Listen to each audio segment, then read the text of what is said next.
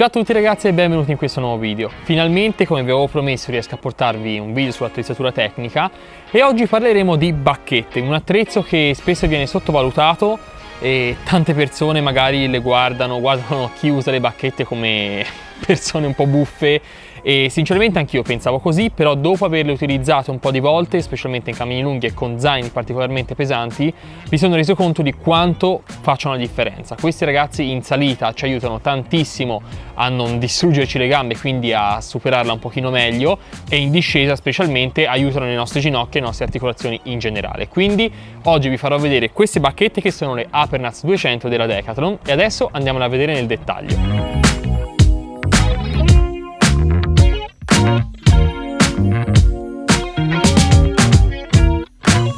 Parlando di questo modello è diviso in tre sezioni, c'è quella finale dove si collega anche la nostra punta con la rondella, quella intermedia e quella superiore che presenta più fori, ha l'impugnatura e la fettuccia. I materiali di cui sono costituite sono punta in tungsteno, il materiale vero e proprio della bacchetta è in alluminio, impugnatura in schiuma e parte superiore come alcuni pezzettini in plastica, cioè in ABS.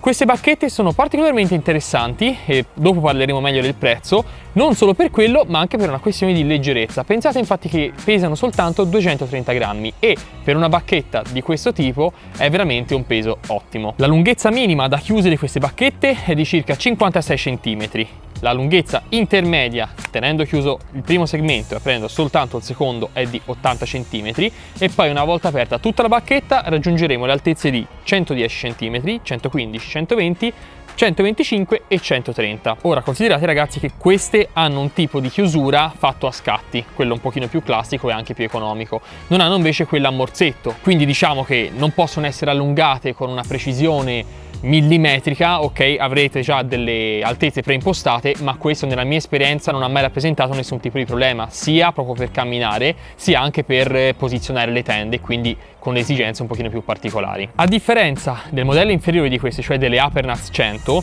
queste hanno varie migliorie. La prima tra tutte è il cordino, la fettuccia.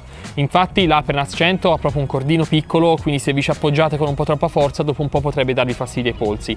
Questa invece ha una fettuccia che oltretutto è anche regolabile, quindi è particolarmente comoda. Successivamente troviamo le rondelle che vengono regalate insieme a queste bacchette che sono rimovibili.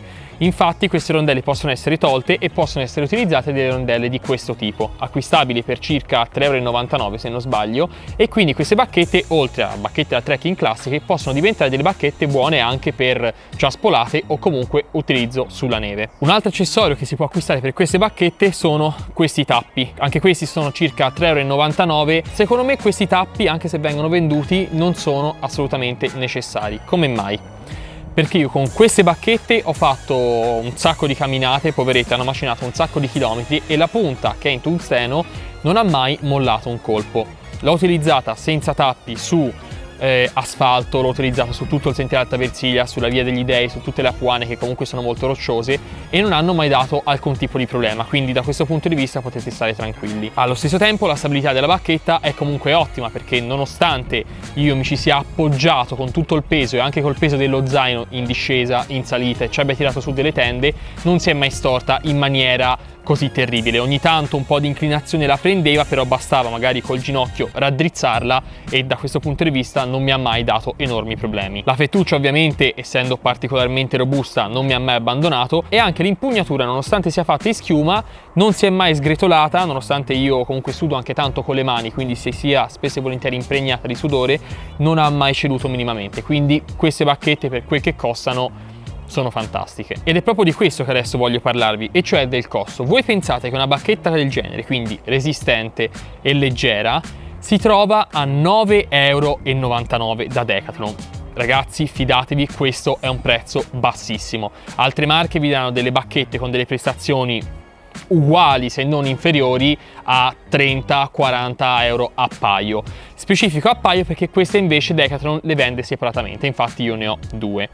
Come mai le vende separatamente? Beh, sicuramente è un ragionamento intelligente perché Ci sono camminatori che non si trovano bene a utilizzarne due, magari per un semplice appoggio ne usano una soltanto e quindi se vi si rompe quella che voi utilizzate basterà comprarne un'altra. Altre marche invece appunto le vendono a coppia e facendo così ne avrete sempre una in esubero. Bene, il grosso di queste bacchette ve l'ho raccontato, ora vi do qualche consiglio. Queste bacchette possono essere utilizzate tranquillamente anche per aiutarvi nel guado magari di torrenti o di fiumi, soltanto una parte importante per far sì che durino il più lungo possibile è anche la manutenzione. Quindi se lo utilizzate sotto la pioggia o le immergete in acqua per qualsiasi ragione, ricordatevi una volta che tornate a casa di separare le tre sezioni. Facendo così si asciugheranno, non si verranno a creare muffe o cose strane all'interno e la durata della vostra bacchetta aumenterà significativamente. Inoltre ogni tanto se avete delle mani che sudano vi consiglio quando tornate a casa di sciacquare anche l'impugnatura che appunto essendo in schiuma un pochino tende ad assorbire quindi se gli date una bella lavata male non gli fa. Come ultima cosa io in cima alla bacchetta subito sotto l'impugnatura ci metto sempre un pochino di nastro americano. Il nastro americano è un nastro particolarmente resistente che è su super polivalente, quindi potete utilizzarlo per farci qualsiasi cosa,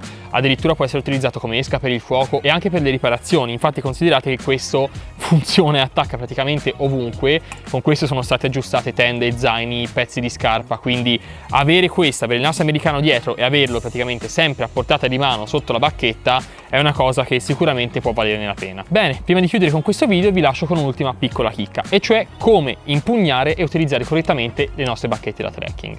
Quindi una volta che saremo pronti a camminare basterà aprirle ad un'altezza giusta. L'altezza giusta qual è?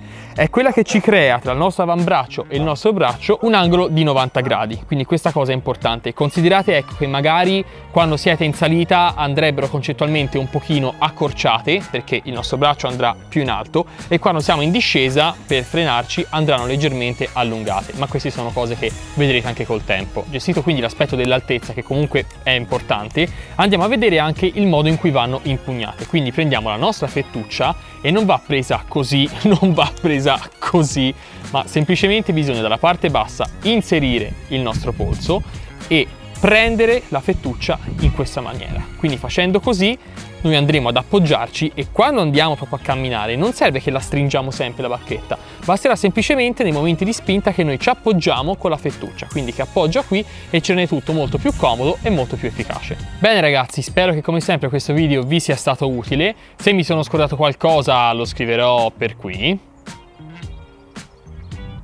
Se avete qualche richiesta di attrezzatura da recensire o di argomenti su cui dovrei parlare, fatemelo sapere qui sotto nei commenti. Come al solito, se non siete ancora iscritti, iscrivetevi, lasciate un bel like e noi ci vediamo alla prossima avventura.